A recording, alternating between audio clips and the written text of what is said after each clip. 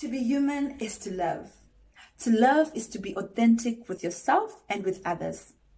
It is important to note that self love is the key to becoming the best version of yourself. But in order to love others, you must have self love. You must also have awareness. Awareness of the issues that affect everyone, as well as self awareness. Sharing relatable stories helps us to raise awareness. It helps us to cultivate self love.